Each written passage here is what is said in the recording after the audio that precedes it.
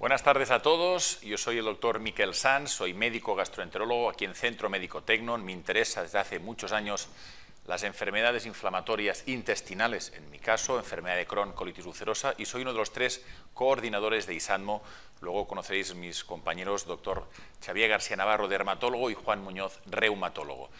En Tecnon nos interesan mucho las enfermedades inflamatorias y de base inmune todas ellas. Y esto nos llevó a los médicos implicados a crear una unidad multidisciplinar que llamamos ISADMU, por sus siglas en inglés, que no es nada más ni nada menos que coordinar 20 servicios, 40 profesionales, 40 médicos, que trabajan con estos pacientes. Creemos que es básico. Con cierta frecuencia un paciente puede tener un problema intestinal, pero también en la piel, en el ojo, en las articulaciones, a nivel neurológico, y si no hay una buena coordinación entre los médicos que lo atienden, ese paciente está perdido, este paciente no tendrá una buena atención. Creo sinceramente que se está haciendo muy bien en los últimos años aquí en Tecnon. Y SANMU, por tanto, hace muchas actividades, realiza muchas tareas, eh, coordinación de pacientes, jornadas para médicos, pero creedme que si de alguna estamos especialmente orgullosos es de la jornada que dedicamos a los pacientes y a los familiares. ¿Qué menos que dedicar este tiempo y la preparación que hay detrás para compartir inquietudes, para aclarar dudas y para que eh, aprendamos unos de otros en temas tan interesantes este año como la importancia del peso, no por un tema estético, no solo por un tema de salud cardiovascular, que también, pero hasta qué punto es importante el peso, el metabolismo, la buena dieta, etcétera, el ejercicio, para que esos mecanismos inflamatorios que causan vuestras enfermedades estén lo mejor controladas posibles, más allá de la medicación que os pautará vuestro médico. Por tanto, bienvenidos a esta séptima jornada para pacientes y familiares de ISADMO. Sin más dilación, eh, deciros, hay tres mesas, tres bloques. Eh, empezamos por dermatología, reumatología y lupus, y finalmente digestivo. Eh, os presento a mis compañeros, encabezados por el doctor Xavier García Navarro, coordinador también de y dermatólogo aquí en la casa. Xavier, compañeros dermatólogos, adelante.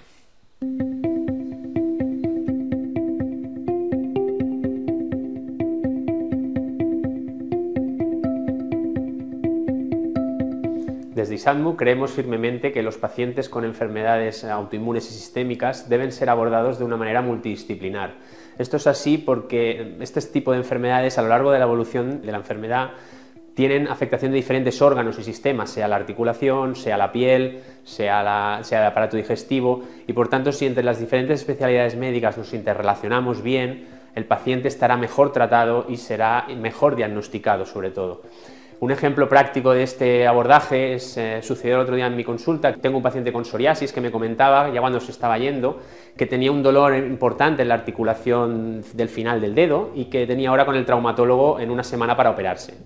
En ese momento a mí me saltó un poco la, lucecita de decir de que si esa manifestación que tenía el paciente articular no podría ser una manifestación de una artritis psoriásica en un paciente con psoriasis y que por tanto eh, una operación en este sentido eh, hubiera sido infausta para el paciente, hubiera sido de muy mal pronóstico. En ese momento yo lo que hice es contactar con mi compañero, el doctor Muñoz, el, reumatólogo, y lo derivé a, su consulta. Y así fue, al finalmente el paciente lo que tenía era una, artritis, una, una, inflamación distal del dedo y por tanto en ningún caso se tenía que operar.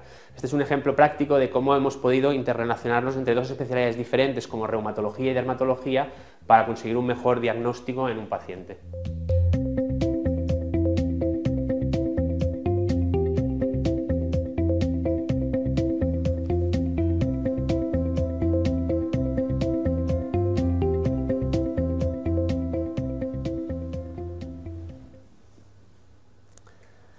Todos, eh, soy el doctor Xavier García Navarro, gracias por la presentación el doctor Sanz, eh, mi compañero, ya, es el séptimo año que estamos aquí eh, comentando temas yo creo que de mucho interés para pacientes con enfermedades autoinmunes y sistémicas, aprendemos todos y, es súper interesante. Me acompañan hoy mi compañera de, dermatología en Dermasusiats, que es la doctora Ivonne Buitrago, y el, Santiago Alfonso, que es el presidente de Acción Psoriasis, una asociación que hace muchísimo por, los pacientes con psoriasis en España y, hacen una labor encomiable. Eh, vamos a hablar un poco lo que comentaba Miquel, ¿no? Eh, cómo, la, la, obesidad nos influye en, las enfermedades autoinmunes y sistémicas. ¿no? En caso de dermatología, por ejemplo, yo creo que hay dos paradigmas claros, que es la, psoriasis y la hidradenitis supurativa. Y me gustaría, Ivonne, que nos, nos, hables un poco cómo la obesidad la podemos considerar como una enfermedad incluso y cómo nos puede influir en, en estas enfermedades de la piel. Bueno, la obesidad debe ser considerada una enfermedad sistémica, es una inflamación de bajo grado llamado metainflamación, donde básicamente hay un montón, digamos, de sustancias proinflamatorias que empeoran todas las dermatosis inflamatorias como la psoriasis o la hidrosadenitis, que allá de por sí son enfermedades autoinmunes o autoinflamatorias, donde ya hay una alteración eh, de todo el sistema, digamos, eh, inflamatorio. Santi, ¿cómo, cómo consideras tus, eh, los asociados en Acción Psoriasis? ¿Les preocupa mucho este tema? ¿Cómo, cómo afrontáis un poco esto cuando se hacen preguntas sobre ello? Bueno, en primer lugar, agradecer la, la invitación. Llevamos ya siete años viniendo a esta casa, hemos, hemos, ido cambiando formatos y es bueno que también vayamos avanzando en, en, otros temas. Seguramente el tema de la obesidad, del sobrepeso, de la nutrición es un tema que hace años no hubiéramos planteado, pero la enfermedad, y como, y como bien dice el título, ¿no? enfermedades inmunomediadas inflamatorias, la, la, enfermedad va cambiando y va avanzando y, y, la ciencia nos vais diciendo que todo ese proceso inflamatorio. Muchos pacientes esto les viene de nuevo, muchos llevan 20 o 30 años y exclusivamente se pensaban que su enfermedad era una enfermedad dermatológica. Entonces, a, tenemos que convencer a los pacientes que aparte de tener una psoriasis, pues tienen mucho más riesgo de, y también la importancia, todo lo que vosotros explicáis y aportáis como ciencia, trasladarlo a la ciudadanía para que entiendan que el peso, que el tabaco, que el alcohol, que los hábitos saludables es parte del tratamiento. Entonces, bueno, convencerles de que hoy en día la psoriasis también pues, tendrá soluciones, pero que el peso es fundamental en el control tanto de la psoriasis como también en los compañeros de la hidradenitis supurativa. Ajá. Yo siempre que explicamos a los pacientes ¿no? que al final el, el, el sobrepeso, en la, por ejemplo en la psoriasis, eh, al final es per se, si tú pierdes peso hay estudios que mejoras las placas de psoriasis, incluso solo haciendo pérdida de peso, o sea, sin ningún tratamiento farmacológico más. ¿no? Entonces, es un tema que, que, es verdad que a veces cuesta ¿no? y que bueno, luego en las siguientes mesas comentaremos algunos tratamientos nuevos, ¿no? algunos fármacos que están ahora muy de moda, no sé si lo habéis visto en las redes sociales, en las noticias, que pueden ayudar a cierto tipo de pacientes en este, en este tema de la pérdida de peso, aparte de lo que comentaba él, ejercicio físico, ¿no? Y, bueno, yo creo que esto es, un, es, el pilar importantísimo que a veces cuesta al paciente, yo creo, Santi, porque a veces no es fácil perder peso muchas veces ¿no? y, bueno. y, que requiere mucho sacrificio, pero ostras, es el punto que el paciente de por sí podría conseguir mejorar su, su enfermedad, ¿no? haciéndolo, en si lo consiguiera. En castellano te digo, me lo dices o me lo cuentas, ¿no? yo soy más, más consciente que soy yo del, del exceso de peso y, y, también en psoriasis se agrava también por el hecho del, del articular, ¿no? que también saldrá, ¿no? el sobrepeso no es bueno para las articulaciones, el sobrepeso no es bueno para nada, se inventó para que las reservas, ¿no? Cuando en otras épocas no había, pues tirar de aquello y hoy en día pues se ha quedado. Sí que es verdad que es muy fácil medirlo, ¿no? la masa corporal, es muy fácil medir, es muy fácil saber el, peso correcto que tiene todo el mundo, pero lo difícil es enfrentarse y por eso también una llamada a la incorporación de nuevos profesionales. El dermatólogo le va a poder explicar que el peso tiene relación con la inflamación, pero no todos los pacientes están capacitados para perder 20 kilos o para correr una maratón. Entonces hemos de acompañar al paciente, ¿no? Entender que ha de ser de menos a más, entender también qué tipo de sobrepeso viene, de dónde le viene, de, uh -huh. del sedentarismo, de la mala alimentación, también hay que trabajar más con el paciente, conocer, conocerlo a fondo y sobre todo convencerle, ¿no? convencerle de que esa apuesta también va a tener sus, sus recompensas, en que va a estar mejor, más ágil y también va a ver que su enfermedad funciona. No, no es fácil, ¿eh? no es fácil porque el paciente bastantes cosas tiene para que encima le castigues, ¿no? En, en, no, y bueno, entonces, al final, ¿no? lo, que, lo, que, hablamos en ISAMU, ¿no? ese abordaje multidisciplinar, que incluso lo que decíamos, ¿no? más riesgo cardiovascular, el paciente con psoriasis tiene de por sí por la inflamación, ¿no? y la importancia de, de ver a diferentes especialistas, de, aparte del dermatólogo, ¿no? que, que consideras sí. que... Bueno, la obesidad es, eh, como lo decíamos, es una enfermedad eh, sistémica, produce eh, muchos eh, desórdenes endocrinológicos, aumenta todas, eh, digamos, aumenta todas las partes endocrina riesgosa o que aumenta el estrés, como el cortisol, la epinefrina, también altera digamos, eh, los vasos arteriales, aumenta la rigidez y la inflamación de, las paredes de los vasos, lo que lleva a mayor riesgo cardiovascular, mayor riesgo de infarto, de accidente cerebrovascular.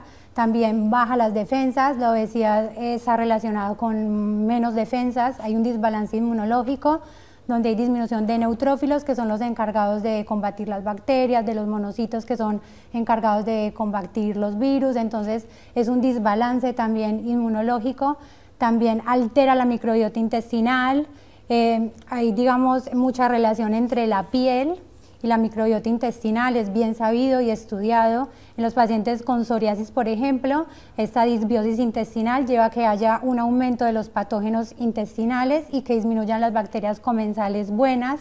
Eh, especialmente en la psoriasis está aumentado el actinobacter, que eso lleva a que haya también más desbalance y más inflamación aún. Entonces, eh, son muchos, digamos, eh, factores en los que la obesidad puede alterar, muchos factores, digamos, de los que, ¿cierto?, empeoran además las dermatosis inflamatorias. Te quería preguntar, eh, Ivonne, sobre otra enfermedad que a veces es un poco desconocida, que yo creo que también en ISADMU tratamos, que es la hidradenitis supurativa. Explica un poquito a la población qué es esto de la hidradenitis supurativa, grandes rasgos, para que ellos lo entiendan. Porque es una enfermedad que a mí mi impresión es que vienen pacientes que llevan años a veces sin diagnosticar, para que la gente entienda un poquito qué es y donde está súper relacionado el tema del peso. O sea, el perder peso en esta enfermedad también es clave para poder mejorar eh, la, propia inflamación, digamos. Bueno, la hidrosadenitis es otra de las patologías eh, autoinmunes. Básicamente es una autoinflamación, pero en este caso afecta el folículo piloso. Esa inflamación eh, lleva a que ese folículo piloso se tapone y produce lesiones eh, tipo abscesos muy dolorosos, que pican, que supuran sangre, que supuran pus, eh, maloliente, que al paciente le produce una disminución de la calidad de vida importante. Está localizado sobre todo en ingles, en axilas, es lo más común, pero también puede estar en zonas eh, como el abdomen, en el cuero cabelludo, en el cuello posterior. Eh, son bien conocidos como golondrinos y los pacientes a veces consultan de manera repetitiva eh, en la consulta primaria o a otros médicos porque tienen abscesos a repetición, pero es una enfermedad muy desconocida que en realidad tiene que ver mucho con lo autoinmune y que se relaciona también mucho con la obesidad porque eh, todos los pacientes que tienen hidrosadenitis o la mayoría eh, presentan obesidad y la obesidad claro, aumenta la inflamación y también por el sobrepeso aumenta la fricción de estas áreas eh, intertriginosas, como son las axilas y los ingles, lo que lleva a que se repitan esas lesiones de manera repetitiva. Efectivamente. Yo creo que en, estos pacientes es fundamental, igual que en la psoriasis, eh, el, intentar, la medida de posible, perder peso porque nos mejorará la enfermedad en sí. Santi, tú que ahora me has dicho que estabas por España toda, esta semana, eh, ¿cómo, qué, estás, qué, se mueve ahora últimamente? ¿De qué estáis pues, hablando más? Pues, pues fijaros que justamente venimos del, Congreso de los Diputados a trabajar el tema de la nutrición relacionada con la enfermedad. Y, las, máximas autoridades, las, presidencias de las sociedades científicas, todas pusieron de manifiesto que la desnutrición o la obesidad son enfermedades, no es una derivada y que como tal se, han, de, se, han, de, se han de atacar. O sea, hemos de convencer que de la necesidad de recursos llegar al endocrino es complicado, o sea, pero, em, eh, y que el paciente también lo entienda. O sea, el paciente ya sabe que ha de perder peso porque todo el mundo lo sabe, pero la relación de la enfermedad con la, con la inflamación, con la obesidad, el paciente la de entender. Y esto es hoy lo que nos vale, ¿no? Para decir, tenemos tiempo para hablar de esto, para poderlo relacionar y sobre todo también dos cosas. Una, de todas las enfermedades que vamos a hablar hoy, ninguna de ellas es contagiosa. Sabéis que los pacientes con psoriasis pues, sufren mucho rechazo.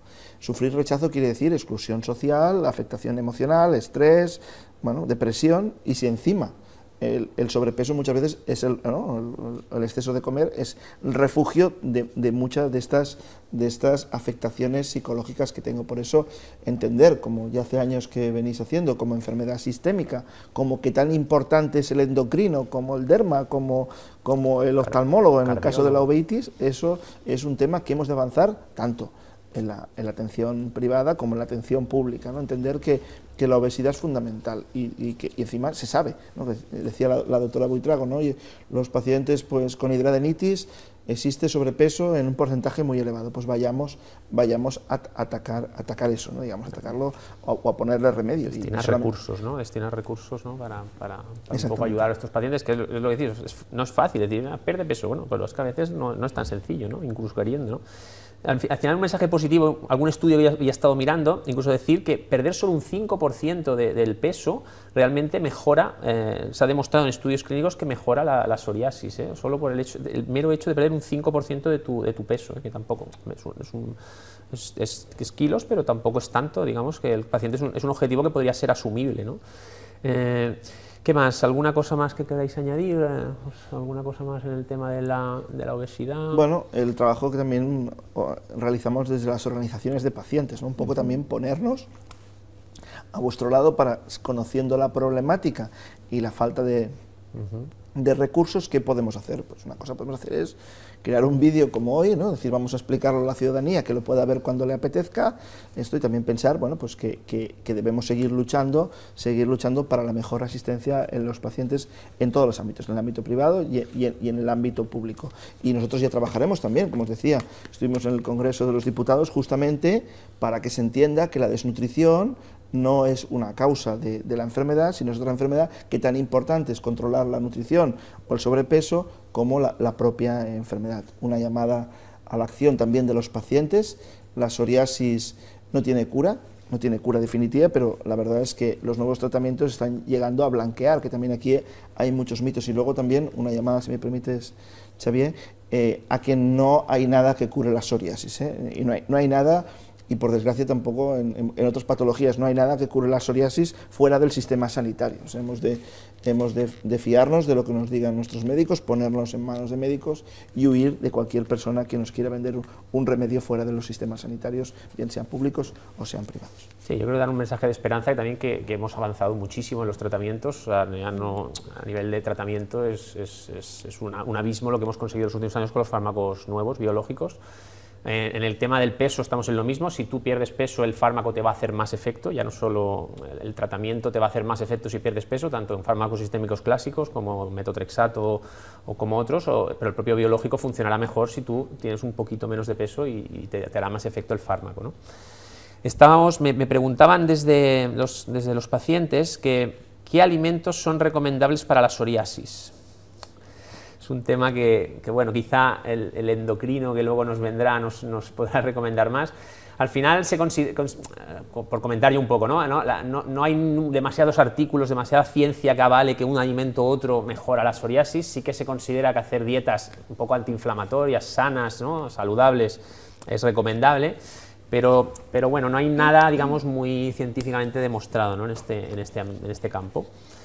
Yo justamente venía, venía escuchando una ponencia de una endocrina y, y, ondaban esto, ¿no? que al final los aportes de omega 3, los aportes de, no, todavía no tienen suficientemente evidencia para entender que, que, que, eso va a ser beneficioso para el paciente con psoriasis.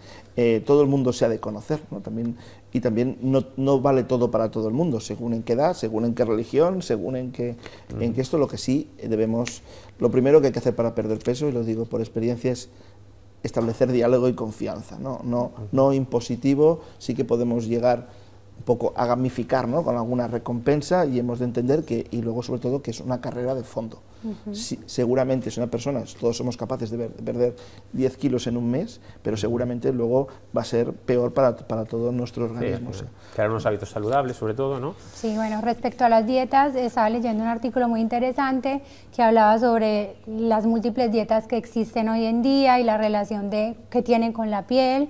Las que más evidencia tenían es la dieta mediterránea justamente, que es una dieta que es totalmente antiinflamatoria, es sana, eh, mejora, digamos, eh, la inflamación hepática, disminuye la inflamación hepática, controla el control, hace un control glucémico, mejora el riesgo cardiovascular y es una de las dietas que, digamos, eh, mejor valoradas están y mejores resultados tienen en las dermatosis inflamatorias.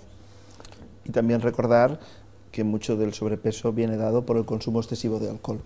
¿no? alcohol, sí. Que el alcohol bueno, también produce sobrepeso, que también una llamada una llamada al, bueno, al mínimo consumo de alcohol. ¿eh? O sea, debemos también por la interacción con los medicamentos y, y sobre todo también una llamada a los pacientes a que, no mientan, por decirlo así, que cuando les pregunten si consumen alcohol o tienen alguna cosa, que al final mm, ¿no? también tengamos esa confianza de, explicarnos lo, todo, porque seguramente su tratamiento puede estar condicionado por la ingesta de alcohol. Sí, a veces pueden decir, bebo lo normal, ¿no? Lo normal a veces, ¿cuánto es lo normal? ¿no? Es difícil, ¿no? El tema de la microbiota también es interesante, que, que Ivonne comentaba, ¿no? Que, que, está, yo creo que es el, el, futuro, veremos bastantes avances en este campo, porque está muy, es un tema que interesa a los pacientes, es verdad que los probióticos, todo este tema aún falta saber ¿no? esa tecla que tenemos que tocar para, para, controlar esa inflamación a nivel del intestino, pero yo creo que en un futuro esto va, va a evolucionar y va, y va, a haber muchos avances en este tema y oiremos hablar de lo, del tema de los probióticos y la microbiota en psoriasis. ¿eh? Y no sé si hay alguna pregunta más en la audiencia, nada más. No sé si queremos hacer alguna consideración más. Yo creo que hemos tocado bastantes temas tema de tratamientos, eh, al final los biológicos eh, nos van a ayudar mucho en la psoriasis cada vez más. Eh, con Santi comentábamos que a nivel privado el, tema a veces es, ¿no? de poder acceder a ellos es difícil, ¿no? Pero bueno, a nivel de la sanidad pública, gracias a Dios tenemos una sanidad pública potente también y que nos puede ayudar en, en ese, en ese impasse. ¿no? En estos últimos 15 años ha habido una gran revolución y quizás la que más le luce es la psoriasis, decir, ¿no? porque la piel se regenera, se regenera mucho mejor que la, que la articulación o que, o que la parte intestinal. Sí que ha habido, o hemos visto, como muchos pacientes han vuelto a nacer, ¿no? han vuelto a nacer porque estaban en su casa mm, mal nutridos, mal, mal psicológicamente y el hecho de, de, mejorar la piel, por eso una llamada también, o sea, hemos de podemos consolar a los pacientes, podemos apoyarles, pero lo que debemos hacer es ponerle, poner a su disposición toda la innovación terapéutica que, estamos aportando, que no sea que no sea cuestión de suerte, ¿no? Eh, entonces que bueno que los pacientes, aquellos que también se han de responsabilizar, decir, oiga, mi parte del contrato, ¿cuál es? Pues bueno, el tabaco, el alcohol está en su mano, pues también nosotros, sistema público, sistema privado, pues también le ayudaremos a conseguir un tratamiento. Y la verdad es que aquellos pacientes que nos oigan y que estén, como muchas veces pasan, desesperados y, que, y, que, y resignados, pues bueno, la psoriasis ya no es resignación, sino que es, sino que es eh, bueno, es, innovación y cada día el arsenal terapéutico nadie se podía imaginar tener tantos tratamientos y llegar a una cosa importante en psoriasis que es el blanqueamiento total para muchos pacientes. Efectivamente, mensaje positivo sobre todo, que tenemos muchas armas, que tenemos que trabajar en equipo, tanto el propio paciente ayudándonos como los dermatólogos, los diferentes especialistas y, que tenemos un futuro yo creo que muy bueno por delante en controlar cada vez más estas enfermedades. Vamos a pasar a la, segunda mesa. Muchas gracias a todos y un saludo.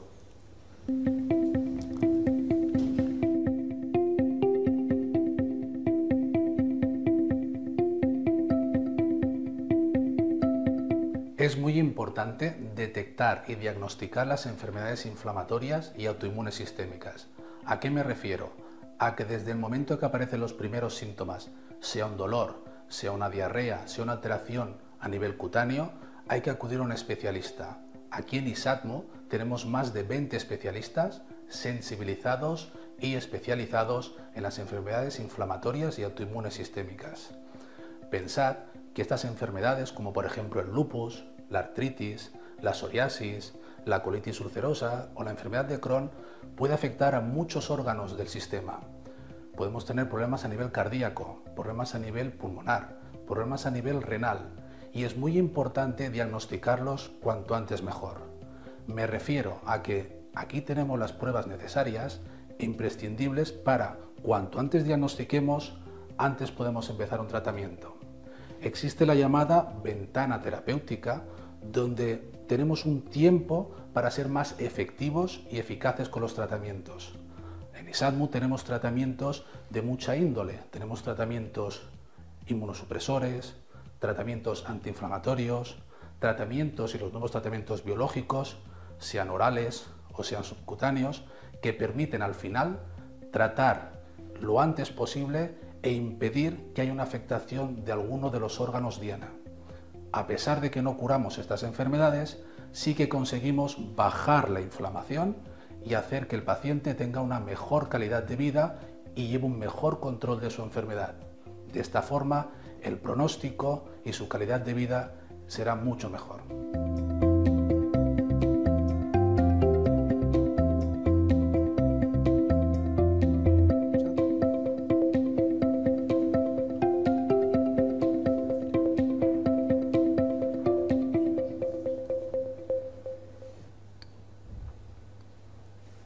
Bueno, buenas tardes a todos. Seguimos con esta séptima jornada.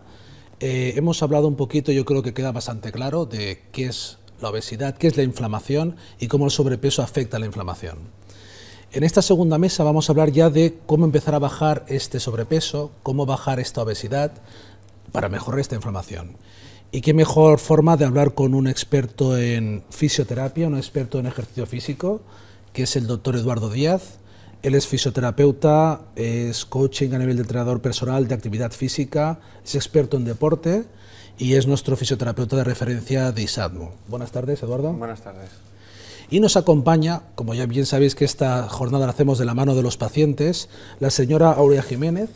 Ella representa aquí a la Asociación Catalana, a la Lliga de Lupus de Cataluña, pero también, que eso yo lo desconocía, a la Federación Española de, de Lupus. Bienvenida, Aurea. Encantada de estar aquí. Muchas gracias. Pues yo voy a empezar, como no, pues con los pacientes, ¿no, Aurea?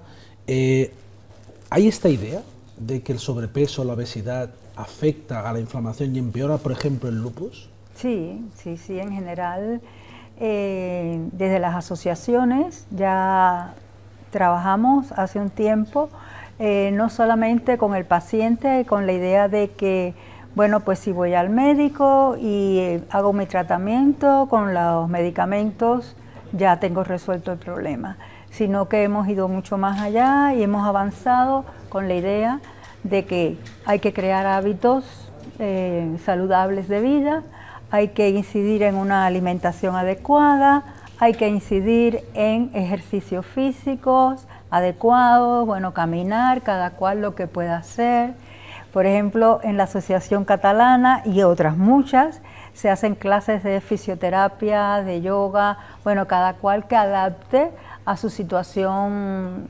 corporal, a sus dolores, porque hay que recordar que el lupus pues actúa con mucha fatiga, con mucho dolor.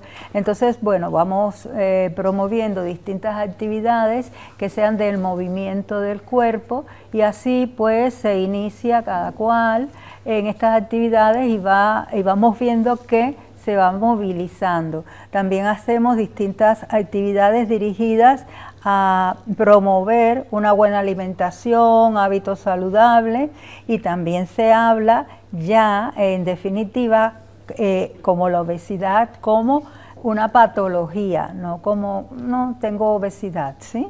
Entonces, pues yo creo que sí que las asociaciones en este en este camino que hacemos de promover, de informar sobre todo a los pacientes, sí se está trabajando en esta línea, aunque la obesidad ha entrado quizás después que la fisioterapia y la alimentación, sí se está trabajando también en esta línea ahora, ¿sí? Una pregunta, Eduardo, importante, ¿no? Eh, el ejercicio físico. ¿Cuánto ejercicio físico hay que hacer para bajar el peso? Ya sé que es una pregunta muy global, ¿no? Pero ¿qué ejercicio físico y cuánto ejercicio físico hay que hacer?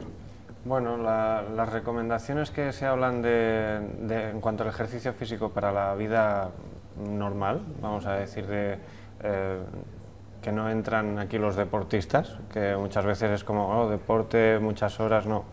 Una vida normal, activa, se considera que recomendable entre 3 a 5 horas de una actividad física aeróbica, por ejemplo, nos puede ir muy bien, que esto representa pues eso, una hora caminando quizás al día, eh, una actividad como la bicicleta, natación, actividades cómodas que tengan eh, poco impacto sobre las articulaciones y que permitan recuperar a la persona su, capacidad, eh, digamos, frente a la fatiga, que es uno de los grandes eh, muros que hay para conseguir que el paciente tenga una continuidad en, las semanas y semanas que debería de durar ese ejercicio físico para conseguir los objetivos. Entonces, la primera semana que uno hace ejercicio siempre es como muy gratificante porque pierde un poquito de peso significativo, pero luego llega el estancamiento que no es tan estancamiento como pensamos, porque hay, una, hay un cambio importante en lo que es eh, cambio de composición corporal. Lo que pasa es que, visto en una báscula tradicional en, en casa, pues no tenemos ese reflejo eh, tan fácil de decir, bueno, es que está cambiando mi cuerpo. Nos tendríamos que fijar más en cambios de volumen en el cuerpo, como serían pues, que los pantalones nos van un poquito más sueltos, cosas así que nos sentimos mejor en cuanto a que tenemos más vitalidad, descansamos mejor, etcétera. Porque aquí siempre hablamos de ejercicio, pero también hay que hablar del descanso, que es eh, igual de importante, tanto como la dieta o otras, eh, otros pilares en estos tratamientos que son a largo plazo. Porque de no respetar estos tiempos de descanso podemos tener más problemas con lesiones y eso poner trabas a ese ejercicio físico que necesitamos para perder ese peso. Por otro lado, también eh, en cuanto a hablar de ejercicio, no nos va a valer cualquier otra actividad, eh, vamos a buscar siempre el margen aeróbico, que es el que, eh, digamos, de la forma más fisiológica va a facilitar que perdamos ese peso. Disculpa, si igual hay a veces preguntas y dudas de confusión. Podéis aprovechar el chat, os recuerdo, para hacer preguntas en directo y las iremos leyendo. ¿Qué, es esto del ejercicio aeróbico? No todo el mundo entiende qué es, qué es, el, qué es un ejercicio aeróbico. Bueno, el ejercicio lo podemos dividir en dos partes, el aeróbico y el anaeróbico. Entonces, básicamente la diferencia, como su palabra dice, es con, con aire o sin aire, es decir, con oxígeno o sin oxígeno. El oxígeno tiene la posibilidad de quemar grasa, quemar proteína, quemar eh, azúcares en el cuerpo, pero cuando, no hay, cuando falta, lo único que se hace es eh, hacer una, media cremada de, las moléculas de, de, azúcar y se favorece más la aparición del lactato. Entonces aparece más fácilmente la fatiga, etc. Entonces por eso es una zona eh, a nivel de trabajo cardiovascular que deberíamos evitar en este grupo de pacientes por, por, este motivo. ¿vale? ¿Hay esta conciencia, Aurea, del ejercicio aeróbico, ejercicio anaeróbico, ejercicios de fuerza, ejercicios de estiramiento sí. o no? Eh, esa es la dificultad, ¿sí? Ya de, de hecho estamos fatigadas y con dolor. Entonces lo que intentamos es no acrecentar esa, esa sensación, que es cierta, que no es una sensación, que realmente lo tenemos. Entonces, pues las actividades que, buscamos son actividades que, bueno, que lo que hacen es estiramientos, eh, bueno, mm, ese tipo de, de, digamos, de movimiento más ligero, más quizás sin, no llegamos a, a lo que él expresa, porque las personas pueden estar muy afectadas, pueden tener ya otros problemas también articulares. Entonces eh, tenemos, una, tenemos una monitor en el caso de aquí de Cataluña que, eh, que también está afectada ¿no? de una enfermedad autoinmune y entonces es muy cuidadosa de pedir más porque también puede dañar o lesionar a, a las personas que, eh, que están participando en el grupo. Entonces, bueno, las personas que tienen más eh, condiciones físicas ya hacen natación o hacen otro tipo de ejercicio, pero tenemos mucho cuidado con las que tienen más dificultades, hacemos estas clases virtuales, ¿sí? Y entonces están dirigidas a estas personas que tienen más problemáticas de movimiento y que pueden hacer este tipo de movimientos, digamos, de actividades en su casa por lo menos una vez a la semana para darles esa pequeña ayuda, porque no todas estamos en condiciones de poder hacer natación, de caminar una hora, de... ¿sí? Sí, pero aquí el tema es ajustar eh, la intensidad para que eso no suceda. Entonces, caminar una hora vamos a decir que es algo orientativo, un objetivo, pero puede que tengamos eh, problemas para caminar más allá de 15 minutos. Entonces, lo que no vamos a, buscar es que, bueno, como no puedo caminar una hora, no camino. No, caminar. Entonces, aquí eh, el ritmo, lo que, lo que se puede hacer hay que rascar, eh, porque todo aquello que se pierda va a costar mucho más de ganar. Entonces, un trabajo de fuerza, no vamos a poner un trabajo de fuerza levantando 20 kilos, pero a, veces simplemente con el peso propio del brazo o quizás un medio kilo, no sé, depende un poco del caso, como eh, debemos de ajustarnos siempre a la condición de, cada persona, no, no, En este caso, los, grupos grandes, las clases que se suelen hacer en gimnasios de 40 personas, son más que ineficaces, son contraproducentes. Entonces, buscamos una atención más personalizada en este caso para ajustar las cargas, buscar que la persona se pueda acomodar.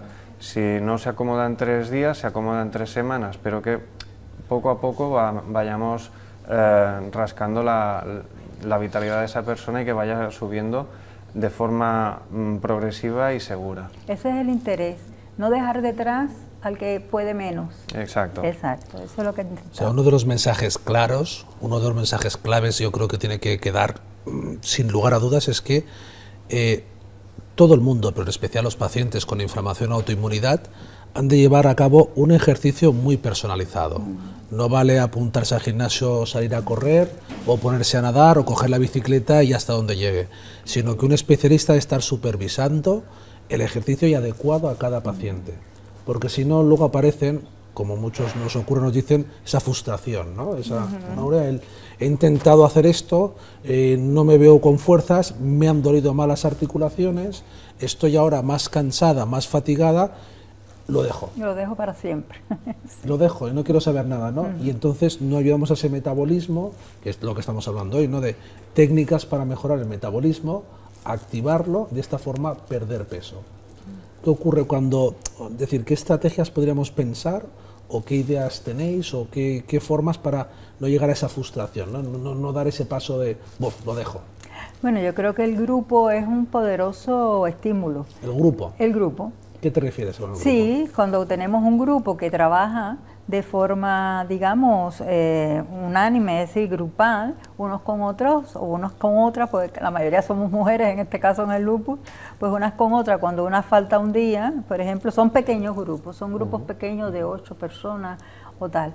Entonces, pues, pues que no has venido, no, que me sentía mal, no, pues ven a la próxima, es decir, eh, la llamada esa de de por qué no vienes, por qué dejaste de venir. Ven. Yo creo que esto es importante porque desde las asociaciones de lupus siempre tratamos de, informar, de mantener informado al paciente de por qué decimos esto. Ahora, por ejemplo, si es la, eh, si estamos hablando, ¿no? Por ejemplo, de qué es importante la, la, alimentación, la buena alimentación, ¿por qué es bueno para ti? ¿Por qué es bueno el ejercicio? ¿Por qué es bueno para ti?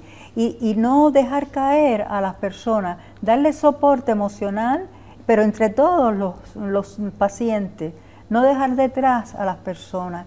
Y yo creo que cuando digo el grupo es el resto de pacientes. eso es fundamental. Porque es un estímulo, tú no te sientes solo, no te quedas detrás, ¿sí? sino que todos vamos trabajando. Una motivación grupal y cuando uno da un pasito atrás, el resto del grupo le ayuda. Porque cuando, como esta enfermedad, esta patología va por brotes, tienes un brote, te, te, sientes mal, puedes tener un ingreso, eso te hace que te quedes detrás. Pero si tienes a alguien o a algunas personas que se preocupan por ti, bueno, vamos, vamos a esperarte, estamos por ti. Yo creo que eso es muy importante. Y las asociaciones, una de sus funciones es esa. Entonces yo pienso que esa es una de las líneas que se deben trabajar. Tenemos ya unas cuantas preguntas, voy a pasar a leerlas. La primera es, eh, Mari Carmen desde Cádiz nos pregunta, eh, ¿cuánto tiempo tengo que hacer de marcha nórdica? Hombre, esto depende. Una pregunta como un poco global, ¿no? Pero... Al final es lo que hemos comentado antes, de entre 3 y 5 horas de ejercicio a la semana de este tipo nos puede ir bien, está demostrado. Lo que sí que para mejorar los resultados siempre tiene que ir acompañado de un trabajo de fuerza de dos a tres días a la semana, igual que eh, de estiramientos lo mismo. Entonces, con esto tenemos un, cómputo elevado de días, pero eh, el tiempo al final lo marcará la, fatiga de la persona. Entonces, lo que tiene que tener en cuenta es que mm, si no tiene pulsómetro para entendernos, eh, para no fijarse en un margen cardiovascular, simplemente con que vaya acompañada y pueda ir sosteniendo una conversación con la persona que lleva al lado el tiempo que sea, ya estará bien. O sea, busquemos ese, como decía antes, el rascar eh, el máximo de tiempo posible y tengamos en cuenta que si nos cansamos, pues nos podemos sentar, recuperarnos y volver otra vez a coger un taxi o lo que sea necesario en ese caso. Tenemos otra pregunta de Jorge de San Sebastián que nos dice, eh, ¿cuántas press banca, cuántos levantamientos tengo que hacer de fuerza si tengo un periodo de artritis? Una pregunta un poco... ¿no? O sea, al final el- yo creo que la traducción sería, ¿cuánta fuerza puedo hacer? O Cuando tengo un proceso de artritis, ¿tengo que hacer esa fuerza? ¿Tengo que hacer ese levantamiento? Mejor no. A ver, aquí hay que salvar los periodos de crisis como se pueda. Entonces, si tiene un brote que le- realmente le permite hacer eso, mm, pues perfecto. El objetivo vamos a decir que serían 12 repeticiones, 12-15 repeticiones, 2-3 series, pero en condiciones normales. Eh, entonces, aquí igual bajando cargas o haciendo el gesto simplemente sin tener que llevar la, barra, para entendernos, puede tener suficiente para el hecho de que el, el movimiento cambie, aunque no haga el trabajo de fuerza en ese, o sea, como tal. Vale, tenemos otra pregunta, esta yo creo que te- sería más dirigida hacia ti, Aurea. A nivel de asociacionismo, ¿dónde podemos encontrar información de las sociedades? Ah, pues hay una página web que es felupus.org. Lupus.org. Sí, bueno, www.felupus.org. Ahí están todas las asociaciones de, que existen a nivel de comunidades. Ahí pueden encontrar el teléfono, dirección. Ya les podrían orientar en grupos que estén trabajando en este sentido, ¿no? Sí, sí, con gusto pueden entrar ahí.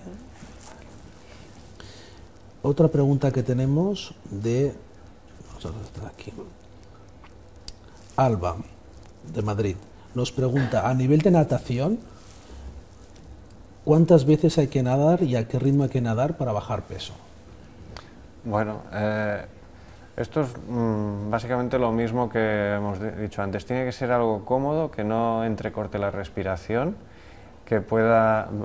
Repíteme la pregunta, perdona. Que me... Sí, ¿cuántas veces tiene que nadar y, cuántas, cuánto, Vale. cuánto tiempo tiene que nadar para bajar peso? eh? Mm, Para bajar peso o para hacer ejercicio, porque al final eh, el- la bajada de peso tiene que ser una consecuencia de eh, varios puntos, que es eh, cambiar la nutrición, eh, tener un hábito de moverse eh, donde eh, podamos decir de cuatro, de tres veces a la semana, por, por decir algo, pero siempre nos tiene que, dar la idea de que hacer algo un día eh, nos va a ayudar, hacer algo dos días nos va a ayudar un poquito más, hacer algo tres días nos va a ayudar un poquito más. Pero eh, lo que sí que vamos a ir a buscar es que si, por ejemplo, tuviéramos eh, disponibilidad para hacer toda la semana, lo que no vamos a hacer es ir al 100% toda la semana, porque eso nos puede abocar a tener problemas de lesiones eh, si no, des- eh, si no respetamos los tiempos de recuperación o a veces podemos decir que podemos hacer seis días a la semana, pero eh, vamos a hacer entrenos parejos de tres días, de decir, pues vamos a entrenar un día con una intensidad del 60 o 70%, un día al 100%, otro día al 40%, para que tengamos una curva de recuperación que nos permita bajar inflamación, etcétera. O sea, una de las claves es no pasarnos y no inflamar el cuerpo ¿no? con la actividad. Digamos que tenemos que llegar a la pared y no traspasarla. Eso es complicado, ¿no, Aurea? O sea, al final, eh, lo- los límites que se pone cada uno, ¿no? A la hora de muchos pacientes en consulta, la pregunta que te hacen, pero si, si me duele la rodilla, eh, ¿tengo que seguir caminando? Es una pregunta, ¿no? Muy, muy, muy frecuente. Pero ¿hasta dónde tengo que llegar, no? Si tengo ahora una crisis de lumbar, ¿no? Por ejemplo, un paciente con espondilitis, ahora tengo que forzar, tengo que seguir caminando, tengo que seguir yendo en bicicleta. ¿Qué, qué, qué les decimos a estos Eso es pacientes? muy personal, yo pienso, ¿no? Eso es personal. El límite te lo pones tú mismo, ¿no? O sea, el límite es mental. Claro. ¿Qué opinión tenéis, Eduardo? Aquí es variable, porque por experiencia en consulta ah, depende de la persona. Hay gente que le va a ir eh, muy bien seguir y gente que le va a ir bien descansar un día o dos y ya está. Entonces, eh, lamentablemente en este caso yo creo que cada uno se tiene que conocer un poco y mediante la práctica habitual se conoce uno bastante eh, lo suficiente para decir mm, sigo corriendo o no, me paro y ya está. Sí, quizás aquí es lo que hemos comentado, ¿no? La necesidad, uno, de que haya una motivación grupal para que no caigas y te quedes atrás y ya lo dejes. te olvides del tema. Y dos, hay un profesional sanitario que te vaya guiando el camino y te va diciendo, pues, estos ejercicios hasta aquí, te vaya supervisando, corrigiendo. ¿Te encuentras, por ejemplo, Eduardo, en la práctica clínica diaria, errores a la hora de hacer ejercicios, gente que ha visto algún vídeo por ahí intenta repetirlos. A diario. ¿Qué, opinión Eh, tienes de el, esto? el problema de los vídeos es que no hay una interacción que te corrija y muchas veces dependemos de una descripción que pueda ser deficiente. Entonces, cuando se ve, por ejemplo, un ejercicio de puente glúteo, si no se dan las instrucciones necesarias en el vídeo, mm, solamente ves que está levantando la pelvis, pero no con qué ángulo, con qué músculos tiene que trabajar, etc. Entonces, las sensaciones de, la persona son importantes, para mí por lo menos. eh, cuando yo enseño un ejercicio, quiero que la persona lo haga. No, no me vale con enseñarle un vídeo o enseñarle cómo lo hago yo, sino que, que lo haga, que sienta los músculos cómo trabajan y que en su casa tiene que reproducir más esas sensaciones. Si no es el caso, pues eh, para eso tienen el correo, eh, me escriben, quedamos, lo, lo ajustamos de alguna manera para poder facilitar que no pierdan tiempo entre visita y visita, porque si tenemos un tiempo de visita de, de- te veo en tres semanas, eh, no voy a permitir que esa persona esté tres semanas sin Haciendo progresar. un ejercicio, ¿no? Se puede hacer daño. Adecuado. Casi que es verdad lo que hablábamos, ¿no? Que los vídeos hay mucha información, ¿no? En, en YouTube, demasiada. en Internet, Sí. de muchos ejercicios, pero a efectos prácticos luego necesitamos a alguien que, que- que te enseñe y que te corrija sobre todo. Yo esto lo veo en otros niveles, ¿no? En el gimnasio, ¿no? Ves a chavalines o chavales que se ponen a hacer ejercicios eh, sin ton ni son, sin Sí. supervisión. Pues me imagino todavía peor si encima tiene una articulación fastidiada o tiene una Claro. articulación inflamada o una lesión, que encima intente reproducir un ejercicio que esté mal hecho, con Sí. lo que la lesión puede ser mayor. Sí, pasa con las dietas y pasa con todo. sí. Las dietas es un tema interesante que hablaremos en la siguiente mesa. Ah, muy bien. Yo creo que será un... Y aquí una pregunta que lanzo yo, ¿eh?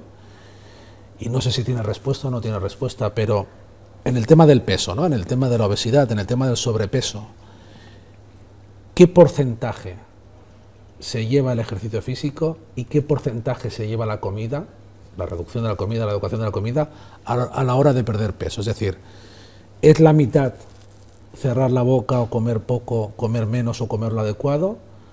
y es la mitad ese ejercicio físico progresivo, mantenido, entrando un poquito de fuerza, ese ejercicio aeróbico, o la balanza está hacia un lado hacia otro. ¿Qué, qué, qué- qué opinión tenéis? Yo pienso que yo pienso que es un estilo de vida adecuado, un estilo de vida sano, es la suma de todo, ¿no? Porque también tiene que ver mucho la, la psicología, la- la- las emociones de la persona. Hay quien come mucho porque tiene muchas emociones negativas y no sabe cómo expresarlas y come, ¿no? Entonces, si, eh, es decir, tendría que ser una, una adquisición de hábitos positivos en general. En general, y saber y comprender que tiene que tener una alimentación adecuada, que tiene que moverse, que tiene que, es decir, en general, ¿sí? No tiene que tener hábitos tóxicos en general. ¿sí? Y tu opinión, Eduardo, como especialista en ejercicio físico, ¿dónde está la balanza? ¿Se va al 50-50 la nutrición y el, el deporte, la actividad física, o se va más hacia un lado o hacia otro? Yo creo que aquí va a depender más del momento de la persona y que tiene que haber un equilibrio mm, móvil para entendernos. Hay momentos donde eh, va a ser más importante eh, el ejercicio físico, que vamos a decir en el momento en el que la persona se encuentre lo suficientemente bien de ánimo, que tenga mm, capacidad física, de que el- la rodilla le pueda permitir hacer más ejercicio y tiene que ir en consecuencia. O sea, uno cuando hace más ejercicio necesita también nutrirse mejor. Entonces, eh, tiene importancia, yo diría que a la par, pero a veces es uno más protagonista que otro y al revés. Pero depende, por ejemplo, una persona que tiene mucho sobrepeso es más importante al principio la dieta que el ejercicio y a medida que va avanzando, estoy lanzando al aire. ¿eh? No, yo creo que ahí cuando, cuando empezamos está todo a la par. Y ahí incluiría también la psicología, incluiría otros, eh, otros aspectos más amplios que no solamente eh, el ejercicio y la nutrición, porque la persona para desarrollar esa constancia que necesita con el ejercicio y la nutrición necesita otro tipo de apoyo que si no tiene difícilmente va a dar pie a que realice ese punto de cambio necesario para su salud. Bueno, eh, yo creo que ha quedado bastante claro eh, dos aspectos importantes. El primero, la actividad física, el ejercicio físico en los pacientes tiene que estar supervisado por un especialista. Evitaremos lesiones, evitaremos eh, complicaciones. Dos, el apoyo grupal, esa motivación a nivel de la psique, ¿no? de, esa voluntad de no quedarte atrás, de que el grupo te ayude, favorecerá esos buenos, hábitos, esos buenos hábitos saludables y conseguir esos objetivos. Y yo creo que hay que seguir trabajando de la mano, ¿no, Aurea? Sí, siempre. Una última ronda, si queréis dar algún mensaje, claro. Sí, yo pienso que esto, este factor que hablábamos ahora al final, que yo introducía de la parte psicológica. Es muy importante. Nosotros, por ejemplo, pues hacemos grupos de ayuda mutua, de autoestima, porque en los pacientes, por ejemplo, lo hablaban en la mesa anterior, eh, en psoriasis y en otro tipo de, bueno, en todas las eh, patologías eh, autoinmunes, por una razón u otra, las personas tienen momentos de su vida que tienen una autoestima muy baja y entonces pues estos grupos de autoestima pues ayudan mucho a la persona en determinados momentos de su, de su transcurso vital a, sentirse bien consigo misma, por problemas de imagen, por problemas mismas de obesidad que pueden tener, problemas de la piel, problemas en general, ¿no? Eh, y yo creo que eso es eh, también esencial para que puedan tener eso de que hablamos, ¿no? De que puedan sentirse eh, apoyadas, y que tengan un soporte. Y eso las asociaciones también lo trabajan. www.felupus.org. Muy importante. Eduardo, último mensaje. Mm. Bueno, yo lo que daría sobre todo es ánimos a la constancia, que por los primeros cinco minutos son lo que marca la diferencia. Y luego día a día es el día siguiente el que importa más. Pues muchas gracias Eduardo, muchas gracias Aurea. Eh, damos por concluida esta segunda mesa, pequeño break y ahora seguimos con la tercera donde hablaremos del tema clave, ¿no? que siempre se habla de la obesidad. Eh, hay que cerrar la boca, no hay que cerrar la boca, hay que comer mejor, hay que cambiar los hábitos. Adelante con la tercera mesa.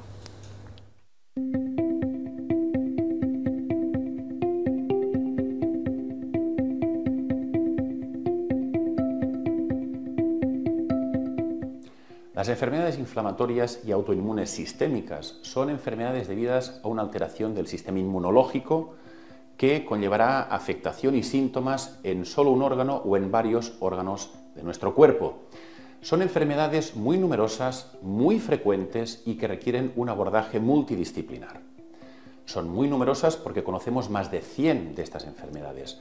Insisto que algunas son solo en un tejido, en un órgano, como puede ser en el aparato digestivo, Ahí tenemos la enfermedad de Crohn, la colitis ulcerosa, por ejemplo. A nivel articular, artritis reumatoide, espondilitis anquilopoiética. A nivel de la piel, dermatomiositis, esclerodermia, psoriasis y a nivel más sistémico, enfermedades como el lupus. Son además muy frecuentes, tan frecuentes que afectan al 20% de la población, que las sufren en el momento o las sufrirán en algún momento de su vida. 20% implica una de cada cinco personas. Y por último, estamos convencidos de que el tratamiento óptimo, más allá de contar con un buen especialista en aparato digestivo, en reumatología, en dermatología, en medicina interna, etc., pasa por el abordaje multidisciplinar, que es lo que ISADMU en Centro Médico Tecnon ofrece. Creemos, porque muy a menudo, muy a menudo estos pacientes tienen más de un síntoma, más de una afectación, más de una enfermedad, que es imprescindible la coordinación entre el digestólogo, el reumatólogo, el oftalmólogo, el ginecólogo, etcétera, etcétera, etcétera, para llegar a un abordaje global con un buen plan diagnóstico y con una todavía mejor eh, propuesta de tratamiento para cada paciente.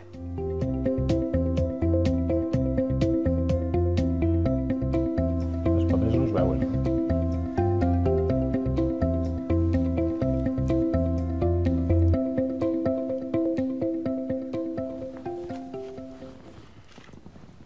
Buenas tardes de nuevo. Me presento, yo soy el doctor Miquel Sanz del Servicio de Gastroenterología de Centro Médico Tecnon y uno de los tres coordinadores de ISADMO.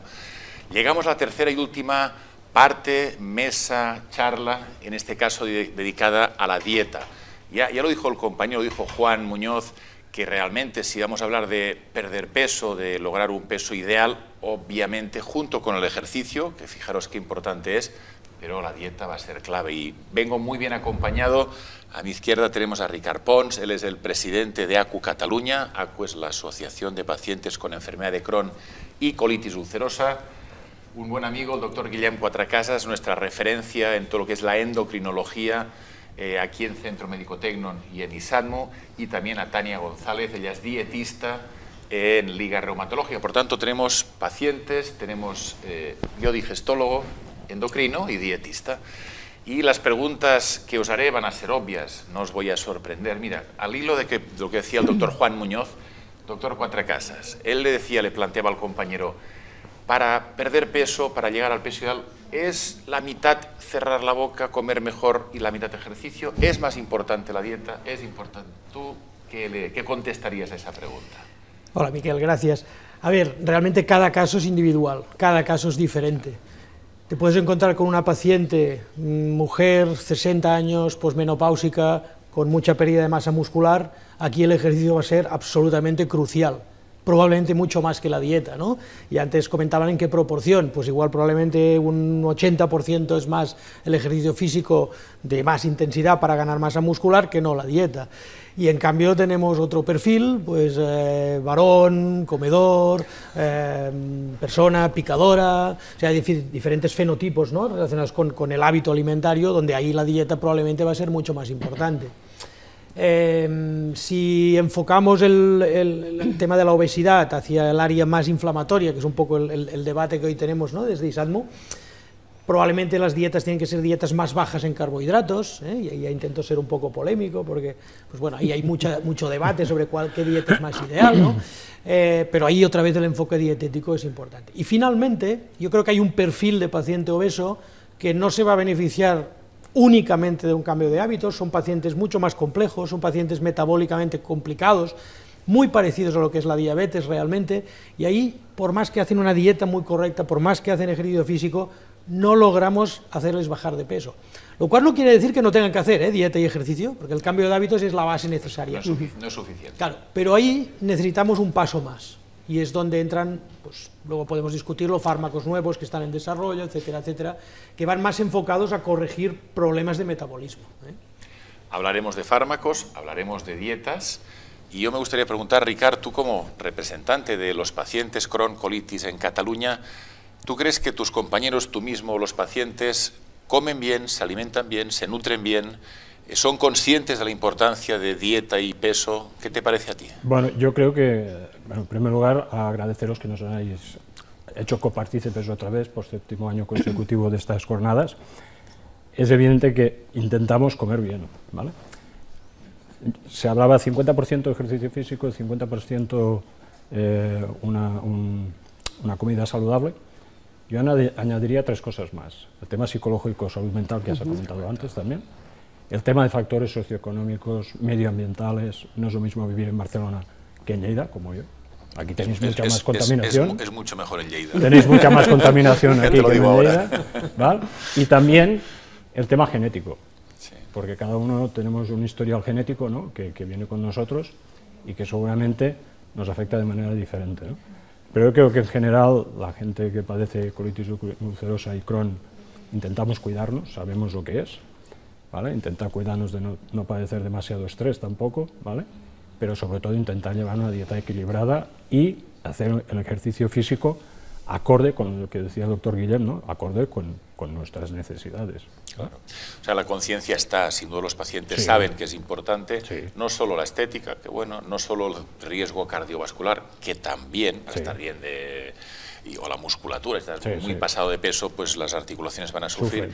Pero este concepto, que es una de las ideas que nos gustaría lanzar desde ISADMU, desde Tecnon, que, ojo, que el sobrepeso per se, aparte de otras cosas, está empeorando tu enfermedad. Y eso es importante. Siempre.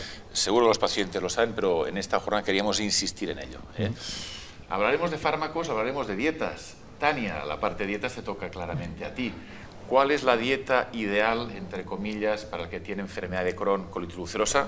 Pero también, porque es una jornada con todas las enfermedades de base inmune, en general para los que tienen enfermedades de base inmune y autoinmunes. ¿Hay una, una única dieta? ¿Hay varias dietas? ¿Qué tienen que comer los pacientes? Hola, ¿qué tal? Eh, mucho gusto de estar aquí, invitada. Eh, pues mira, eh, es la típica pregunta ¿no? que nos suelen hacer siempre y, y desde el punto de vista dietético eh, todavía no se sabe cuál es una dieta ideal tal cual, sino sí que se sabe que la dieta mediterránea bien estructurada eh, es lo que más se puede aproximar a una, a- a una mejor dieta, ¿no? Eh, lo que pasa es que hoy en día es muy complicado poder seguir una dieta mediterránea o que la gente sepa qué es una dieta mediterránea bien estructurada. ¿no? Tenemos tanto, tanto al alcance de todos hoy en día que, que al final mm, no sabemos qué es lo que tenemos que comer, tenemos diferentes eh, enfoques, diferentes visiones, eh, mucho- mucha publicidad de muchas cosas por todos los lados, entonces eh, hay que poner un poco esto más en, en elevado ¿no? conocimiento de todo el mundo para que, que se beneficie de, bueno, de que es una dieta mediterránea bien estructurada. ¿no? Una cosa que mencionáis a menudo es, eh, yo a, a los compañeros, a Sonia, a los compañeros del equipo del doctor Cuatro Casas, les he oído muchas veces hablar de procesados, mm, ultraprocesados, muy procesados, bastante procesados y lo que es natural. Sí. Eh, y creo que le dais importancia, que las cosas, cuanto más directamente el alimento lo tomes, cuanto menos procesos, ya me Correcto. contarás qué quiere eso del proceso, Mm. pero que, que lo, lo que comes directamente, la verdura, el pescado, la carne, lo que sea, sin procesar, a priori mejor que las cosas que a veces la bollería industrial o...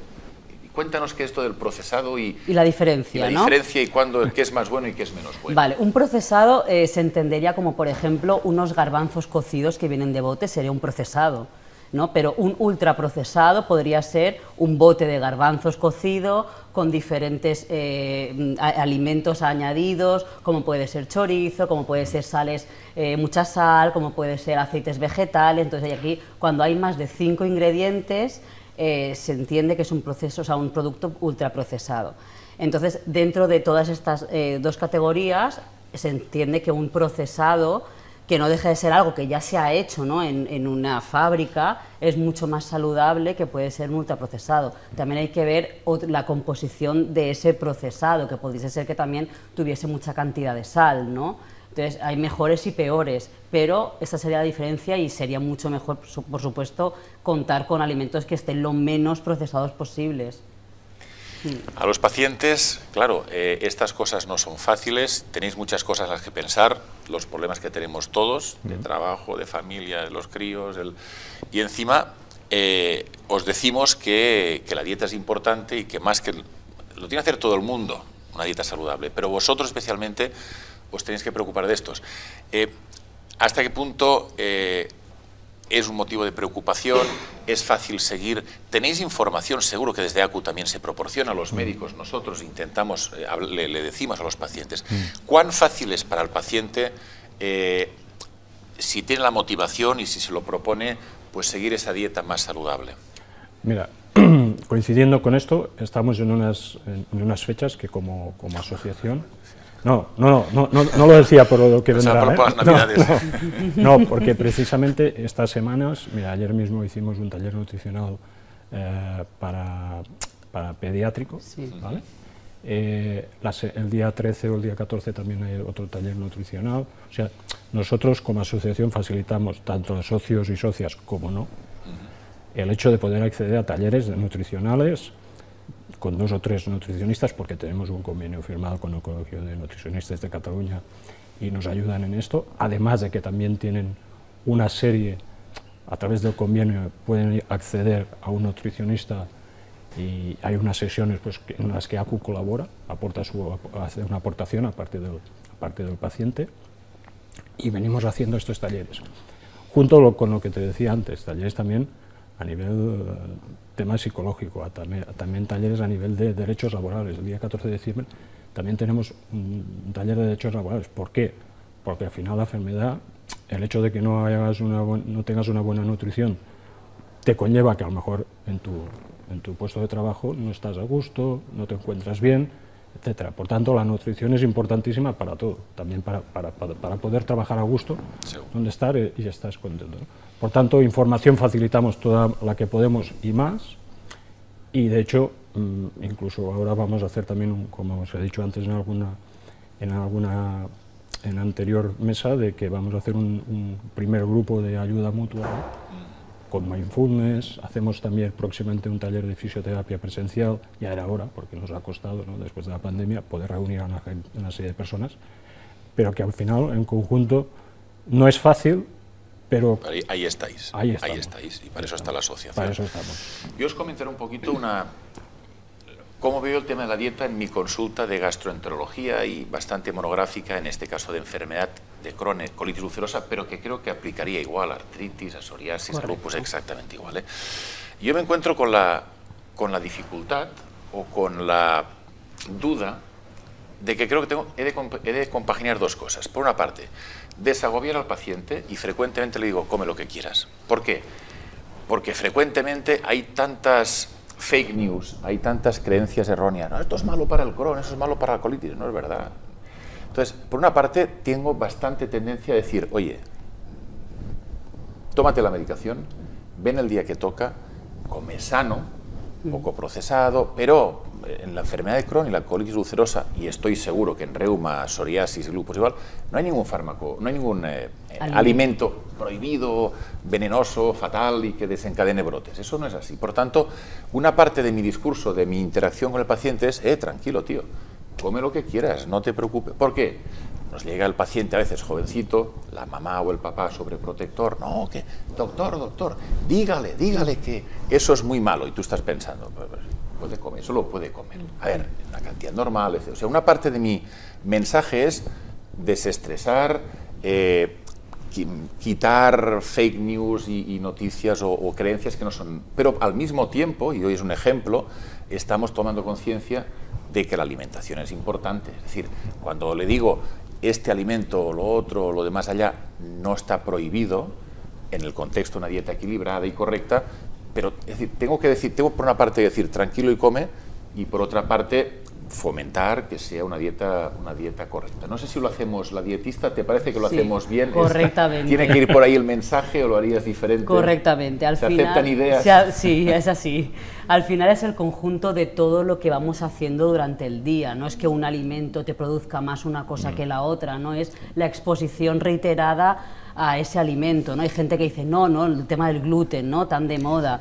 Eh, puede ser que esta persona hay que ver siempre el origen, desde dónde partimos, ¿no? cómo estamos alimentándonos al principio e ir modificando pequeños actos. A lo mejor esta persona no es que el gluten le caiga mal, es que está tomando mucha cantidad de ultraprocesados, eh, de pan continuamente y a lo mejor simplemente con organizar un poco esto eh, ya mejora, ¿no? Si es tematología, pues lo mismo, ¿no? Al final no es un alimento que nos vaya bien para algo, sino es el conjunto de todo, Y en nuestro caso es que quizás el paciente, además de enfermedad de Crohn o de artritis reumatoide, quizás tiene intolerancia a la lactosa, a la fructosa, al sorbitol o, es intolerante al gluten no celíaco.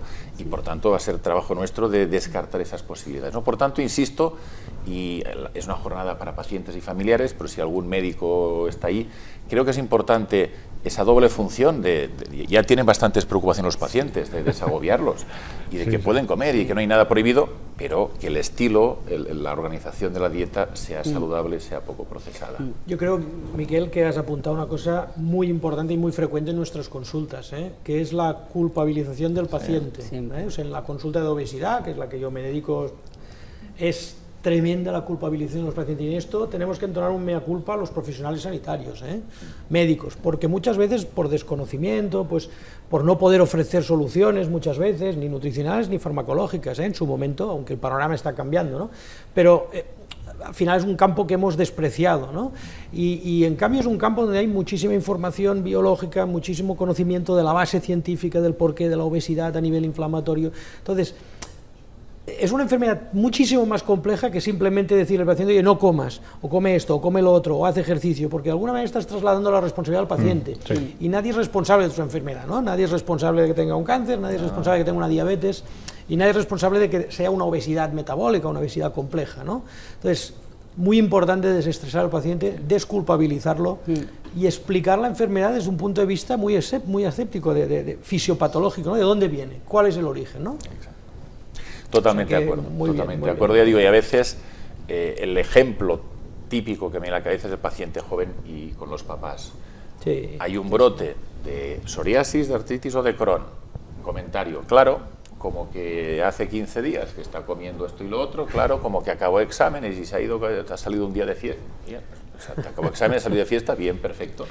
que eso, que toca. Es lo que toca, lo que hacíamos cuando salíamos, acabábamos exámenes. Y que seguramente, vaya, no sé, estoy convencido de que eso no es la culpa, que decía el doctor, de la, del brote. ¿no? Por tanto, y para los médicos, esa doble función de eh, desculpabilizar, relajar, eh, disfruta de la comida, no hay ningún alimento prohibido, pero que sepas que dieta adecuada y peso adecuado juega un papel tanto más importante que, hemos hablado de ejercicio, pero también de la medicación, de asistir a las consultas, de hacer los controles que toca.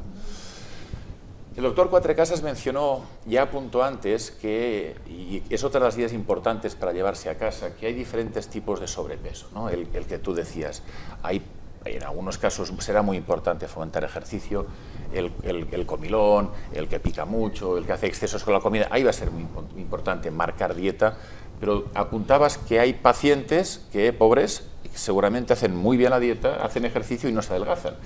¿Y quién no ha oído esa expresión? es que mi, metabolismo, ¿no? mi metabolismo es así, y yo siempre he sido gordito y, y mi hermano también y mis padres también. ¿no? Y ahí me gustaría que explicaras, porque hay muchas novedades en cuanto a fármacos en general y en los pacientes con este tipo de enfermedades. ¿Qué tenemos para ellos? Mira, es un, realmente es una enfermedad extraordinariamente compleja, muy difícil de, simplificar. Pero yo creo que hay dos hechos que han cambiado nuestra concepción muchísimo. A finales de los 90 eh, cambiamos la idea de cómo, se, cómo entendemos el adipocito. El adipocito es la, la célula grasa. Hasta entonces era simplemente, imaginaros una, una bola amarilla, ¿no? que simplemente es el receptor de una serie de triglicéridos, de energía, que se almacenan ahí, que es antiestético. almacén, solo, ¿eh? solo almacén. Un almacén, exactamente. A partir de ahí se descubrió que no, que era una célula viva que fabricaba, entre otros, muchas hormonas, con lo cual pasado a ser el, tejido endocrino más importante del organismo, porque es el, que de mayor número de células tenemos, además. ¿no? Y esas hormonas que se fabrican en el tejido adiposo actúan en diferentes niveles. Actúan a nivel cerebral controlando el apetito, controlando el gasto energético, actúan a nivel ovárico, por ejemplo, en cuestiones de fertilidad, actúan a nivel de estómago, pues también interactuando con la saciedad, actúan en el páncreas induciendo de forma más fácil o menos, pues por ejemplo, diabetes, actúan a nivel cardíaco, incrementando el riesgo cardiovascular, es decir, hay una, hay una digamos, un diálogo entre, entre adipocito... no, era la despensa, ese, ese, almacén es muy importante. No era la despensa, sino que es un actor, y es un actor de primer orden, ¿no? Es, un, es, un, es importantísimo. Eh, con el músculo mismo hay una interacción entre adipocito y músculo, ¿no? Entonces, el adipocito aquí es clave.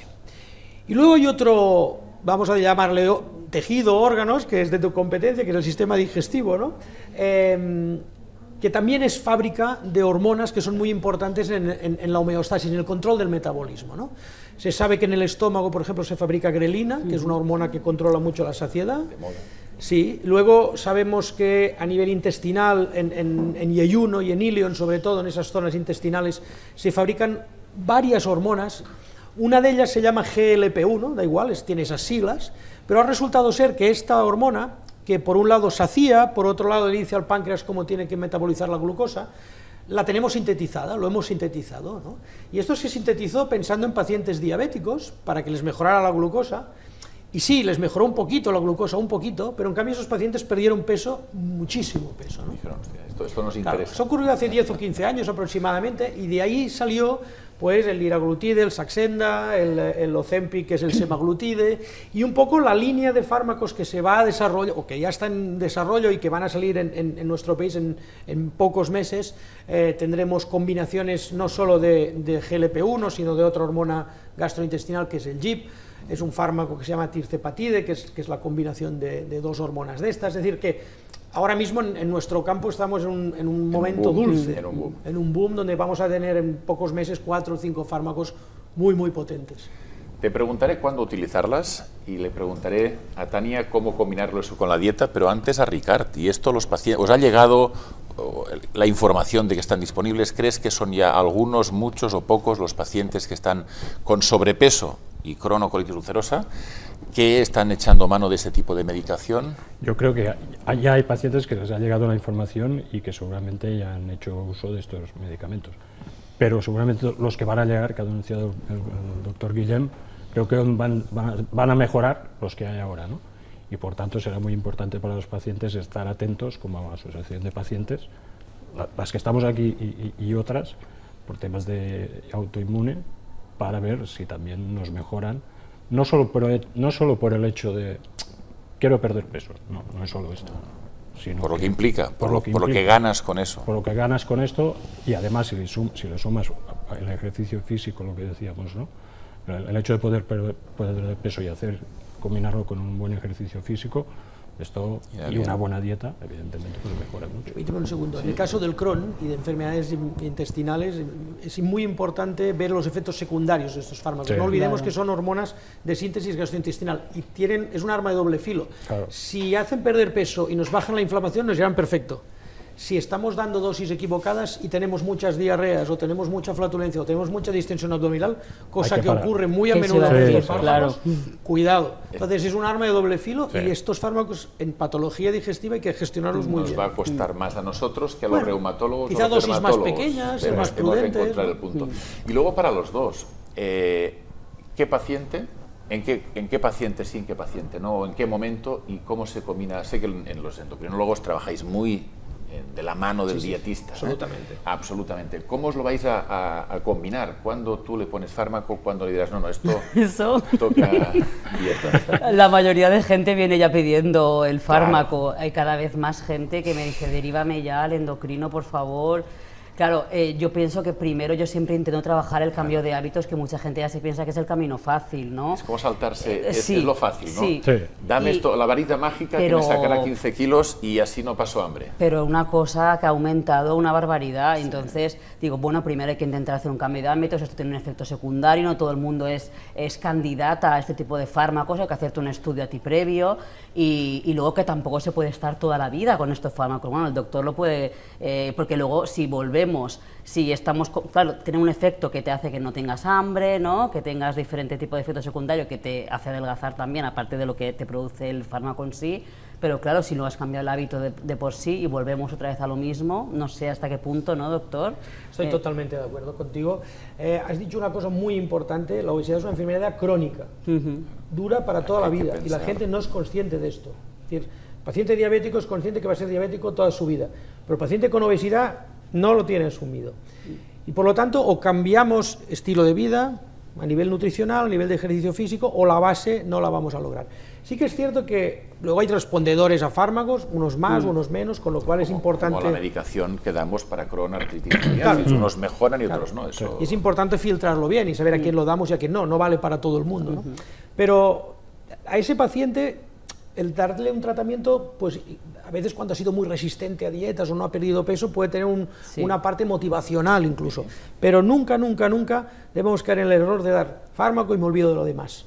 No es un planteamiento crónico, mm. no es un planteamiento correcto desde una perspectiva de salud, o sea que 100% de acuerdo con tu además cuando lo dejes estaremos ahí. El rebote es automático. Eso me recuerda en los digestólogos una estrategia que tenemos, tenemos muchas para intentar tratar obesidad y os sonará lo del balón gástrico, os sonará la cirugía bariátrica o tratamientos que con endoscopia pues cosemos el estómago, lo hacemos mm. más pequeño que a veces es muy necesario en grandes obesidades mm. y, ha salvado vidas y mejora calidades de vida. Pero todos sabemos, a veces que me pongan un balón gástrico, que voy a bajar 15 kilos. Ya, pero como cuando te lo quite, como no comas diferente, los ganas en cuatro días. Y eso debe ser un poquito lo mismo, es decir, que el, fármaco puede ser útil en algunos, en la dosis adecuada, y eso será cosa de los endocrinos, pero luego tiene que haber un trabajo detrás y previo seguramente, y al mismo tiempo de, bueno, perfecto, pero no vas a estar 20 años con el fármaco, ¿verdad?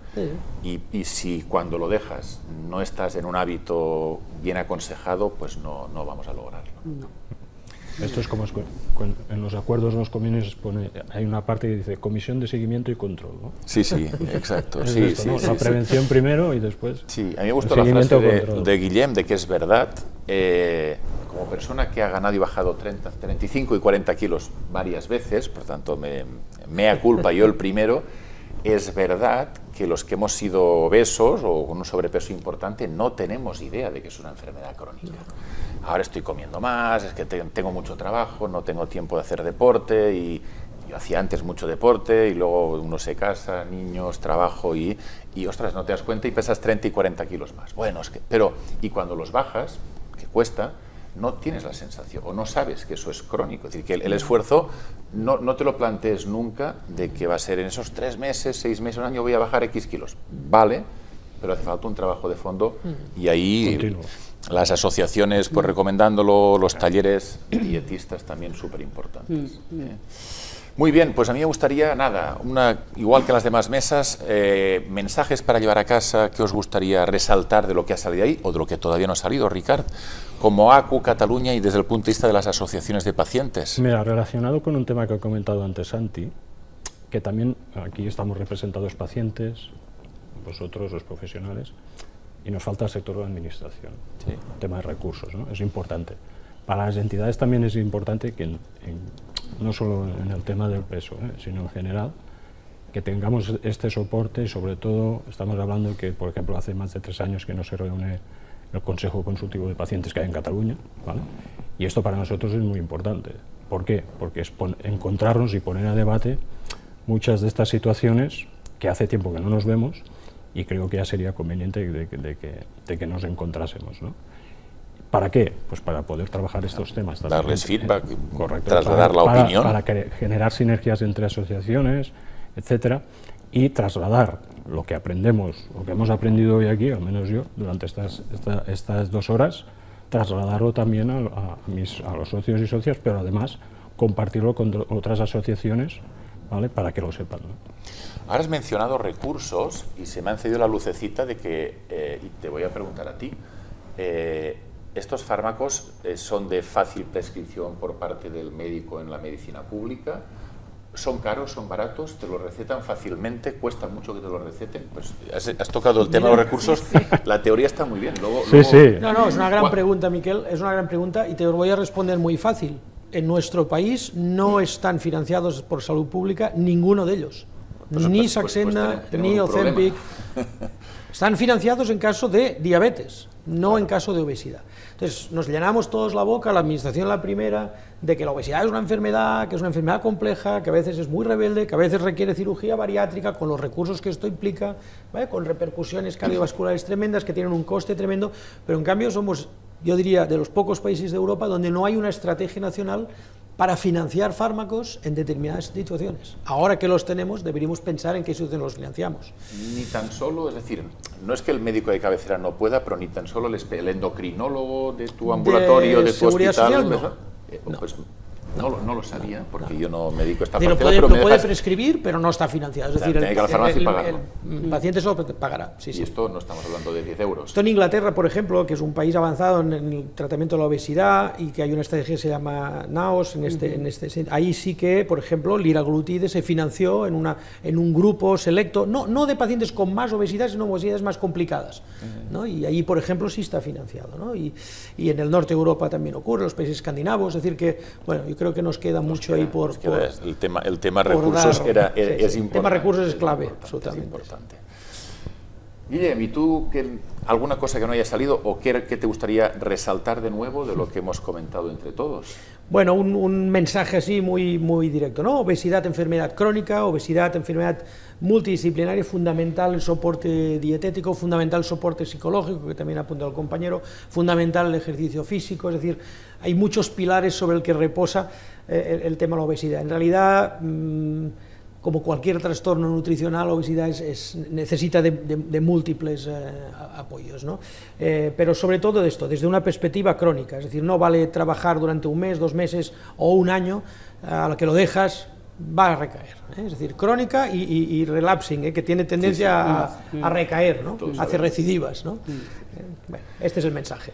Perfecto. ¿Y Tania? Desde el punto de vista del dietista, de lo que hemos dicho o que no hemos dicho todavía, ¿qué, nos, qué resaltarías? Pues lo, lo, mismo que han dicho mi, eh, ellos mismos, que es una enfermedad crónica, que hay que seguir, eh, bueno, hay que ser insistente, hay que seguir un patrón, hay que intentar eh, ir pasito a pasito, pero no perder la vista y es mejor siempre mirar lo que hemos ido avanzando porque muchas veces nos agobiamos con todo lo que hay que hacer, ¿no? Y yo siempre recomiendo, ¿no? En consulta, eh, no mires el final, que puede ser en un año, en dos, hay que mirar tu evolución, ¿no? De lo que, cómo estabas y cómo estás hoy a cabo de un mes, ¿no? Partido a partido del fútbol, ¿no? Correcto. esto está de moda en los entrenadores, hay que ir partido a partido, y luego ya veremos si bajamos de categoría o subimos, eh, quedamos campeones y de día a día. y al final que los nutricionistas somos una ayuda, ¿no? Una guía, ¿no? O sea, vamos eh, poco a poco ayudando a, vos, a la gente, ¿no? A, a cambiar estos hábitos hábitos, eh, dando ideas, dando recursos, mirando cómo estamos en este momento de salud, adaptando el menú al momento de tu vida diaria, ¿no? que no solamente estamos con una dieta de cajón, que eso quiero resaltarlo, ¿no? que, que cambiemos este concepto también de que mm. todavía mucha gente tiene, ¿no? Eh, y no vamos a coger cualquier menú ¿no? de internet, sino que te lo vamos a hacer a ti, eh, mirando tu momento de, este, de, la vida de ahora. ¿no? traje, traje medida siempre, Correcto, cada paciente, siempre, cada momento. Siempre eso insistimos siempre nosotros. Yo, es una jornada de pacientes y familiares de pacientes, no, no está pensado para médicos, pero si algún médico nos está viendo, y en el caso digestivo, yo animaría a intentar tres cosas. No es fácil de compaginar, que ya se han dicho. Una, no culpabilizar, desagobiar, no hay ningún alimento que esté prohibido, se puede comer de todo, sí, pero es muy importante, la dieta es importante y mantener un peso ideal o evitar sobrepeso es muy importante, no solo por los demás temas que ya sabéis, sino para tu propia enfermedad. Los fármacos van peor si estás con sobrepeso o obesidad. Esa es la segunda idea. Y la tercera, y nos repetimos, el enfoque multidisciplinar. Mm. Eh, sabéis que eh, no es que yo no, no quiera hablar de la dieta, es que lo hacéis muy bien vosotros. Yo le voy a decir que esto es importante, le daré cuatro pinceladas, pero os diré, oye, tienes que ir a ver al, a la dietista y según en qué circunstancias al endocrino también, como al psicólogo, como al personal trainer o al preparador físico, como a la asociación de pacientes que sepan que, sepan que existís. O sea, os conocen mucho, tenéis un montón de asociados, pero seguro que algún paciente con Crohn, colitis o reuma o psoriasis o lupus todavía no sabe que estáis ahí, que tenéis muchos recursos para ofrecer. Mil gracias, yo he aprendido un montón, espero que haya sido también útil para los que nos escuchan. Y nada, una únicamente y para cerrar, agradecer primero a los ponentes que habéis sido fantásticos, me encanta el, formato en que podamos charlar distendidamente y no dar charlas magistrales. Segundo, a las asociaciones, en este momento representada por Ricard Pons y ACU, pero a Liga Reumatológica, Acción Psoriasis, a Lupus. Qué bien que ya son siete años de encontrarnos y, no dejaremos de hacerlo. Y decía, hacemos muchas actividades, pero la de la que estamos más orgullosos en ISADMO, en Tecnon, es la jornada para pacientes y para familiares. Y también a los sponsors, eh, todo, los audiovisuales, la plataforma, este, todo tiene unos costes y es importante, hablábamos de los, de los, recursos, ¿verdad? Pues para hacer esto también hace falta recursos y hemos tenido a Quebrofarma, hemos tenido a AVI, hemos tenido a Novartis y a Novo Nordisk, que de forma absolutamente desinteresada, porque aquí no se ha hablado de ningún fármaco, oye, prescribe este, no, no, no, no, aquí hemos hablado de si comemos bien, de qué ejercicio hacemos, en definitiva de la piel también, por tanto, gracias a ellos que hacen posible esta jornada. Mil gracias a todos. En ISADMO, en Tecnon, estamos aquí para ayudaros, a los pacientes a los que ya vemos y a cualquier otro paciente que lo precise. Y en nombre de los tres coordinadores, Xavi García Navarro, Juan Muñoz y yo mismo, mil gracias y nos veremos seguro el año que viene.